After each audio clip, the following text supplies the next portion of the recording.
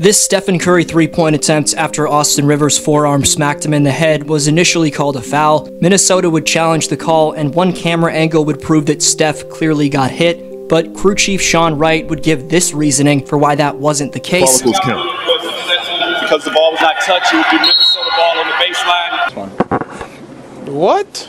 The Minnesota challenge is successful because the ball was not touched. It's the second time in this very young NBA season that the review system has failed Steph, who also had a foul against him on a three pointer overturned in Miami last month. Jordan McLaughlin's replacement in Austin Rivers also ran over Steph on this play, but the refs were silent. We're going to look at how Curry and the Dubs took that disrespect from the officials personally and used it to become closer as a collective unit. Draymond Green's been more productive than former Raptor Finals MVP Kawhi Leonard's been in 2022-23 so far, yet the Warriors enforcer continues to receive a lack of recognition for his play. So we'll talk about that and also much more, considering the Warriors starting five ranks number one among all 30 teams in offensive rating, net rating, and effective field goal percentage. Trust me, you're want to stay tuned. But right quick, just 9.4% of you watching are subscribed, so subscribe if you haven't already. Leave a thumbs up for the YouTube algorithm, and make sure you're fully up to date with my content by following at DFlowHoops on Instagram and Twitter. Steph Curry shooting 66% in the painted area, which is better than the most reputable slasher in Giannis. Curry shooting 55% from the mid-range, which is better than the most reputable in-between guy in DeRozan. Steph's 63% efficiency on two-point shots is better than a top old-school low-post center in Ivica Zubac.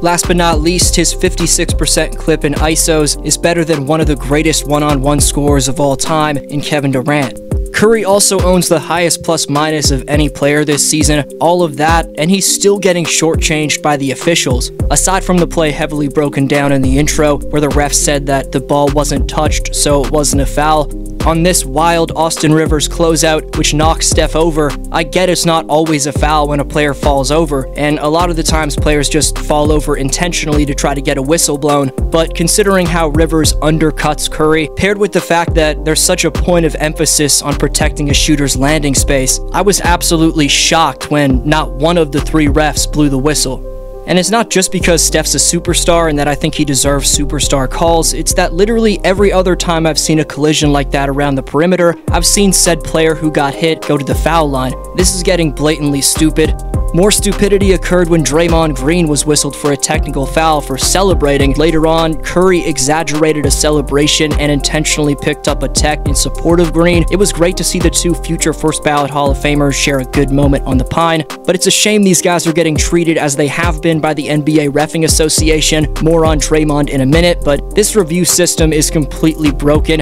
For this next point, I'm not even referencing the Sunday debacle in Minneapolis, but on most of these decisions I've seen being made around the league, after the refs go to the monitor, it almost seems like the call just goes to the home team. Firstly, whoever these refs are talking to on the headsets is the person who needs to be making the decision, and right now, it seems to be the refs that have a say on what the call is, when it should be coming from an unbiased source that can quickly look at every angle of the play maybe putting that take in question.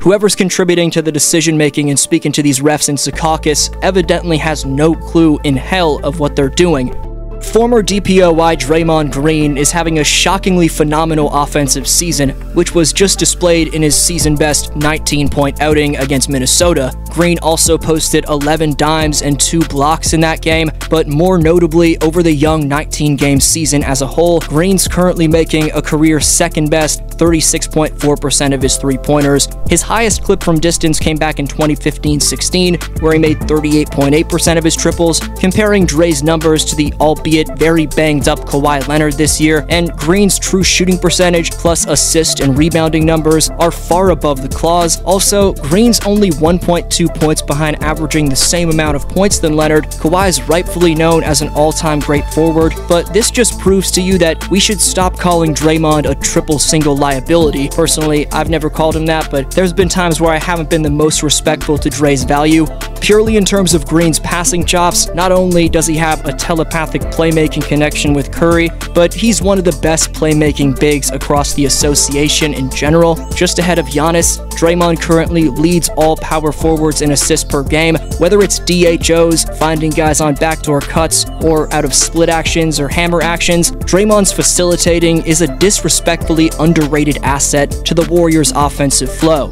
Maybe the best threading of the needle all season from Draymond came when he didn't even get credited for an assist. Out of this stagger split action, instead of using the Javonte Green pick, Klay decides to cut back door, and despite three defenders being in his vicinity, Thompson's been playing with Green way too long to not know how good of a passer he is, and Green steps forward to get momentum for a flashy yet fundamental bounce pass through Powell, Morris, and Zubac, and Thompson gets fouled. On the topic of Klay, I broke down more on him last video, but it's worth noting that half number two of the Splash Brothers in KT has made a blistering 28 of his last 53 point shots for an outstanding 56% clip. Thesaurus Klay himself had his take on his performance post-game. We're so great in transition, and that flow really benefits us, I think, the most. So the not fouling and the ball movement were really the two components that propelled us to this victory, I think.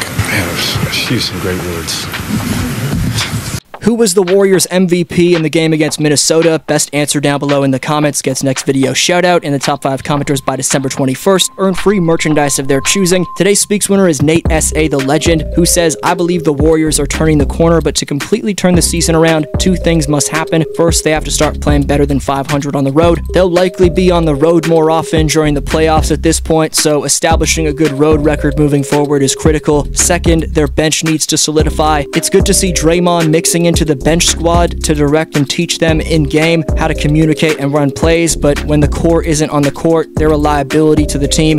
The bench is only a season or two from becoming the starting team. Steph's remaining career length may rely entirely on how much rest he can get moving forward versus how much weight he must continue to shoulder. Poole, Kuminga, Wiseman must find their way before the team can truly be said to have turned the corner. Thanks to Nate for the great take. Thanks for watching. Have a good one.